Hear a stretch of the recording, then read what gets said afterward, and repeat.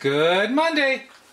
I have been putting this off for eternity. I was going to measure the thickness of this pre-68 skillet that we cut in half a long time ago. And I never did. Uh, what I did do was try to get a close-up picture of the layers of steel and copper and we zoomed in and we'll show those in a second. If you Google a good copper thickness for a pan, it recommends two and a half to three millimeters thick for good even heating. I'm going to guess this is close to one millimeter thick. Got to make sure it's at zero zero. We're going to zero it out. Zero it out.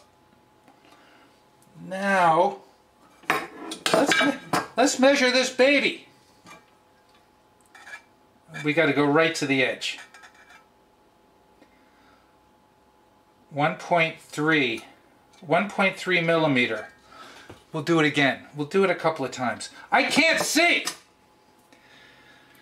Oh. It sucks getting old. 1.36.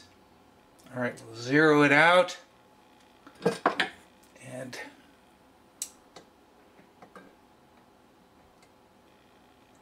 1.34, 1.35. For the sake of rounding up, let's round it up to 1.4 millimeters. So Google said we need 2.5 to 3 millimeters of copper for it to be a good copper pan. The steel and the copper together, we're getting 1.4 if we round up. Okay? We are well under that. Let's check out the photos. If the stainless steel and copper were identical, they'd be 0.7 millimeters. But they're not. There's less copper. We're going to guess that it's between 0.5 something to 0.6 millimeters. The fact is, the copper's, boy, close to half a millimeter thick. That's just not good. I've said it before, Revere ware, man, it's collectible, it's Americana, it's everywhere. It's shiny when it's new. It warps. Revereware is kind of like toy cookware for adults. You know, it'll last forever.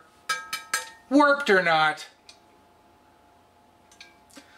The copper thickness is just enough to not disappear over time.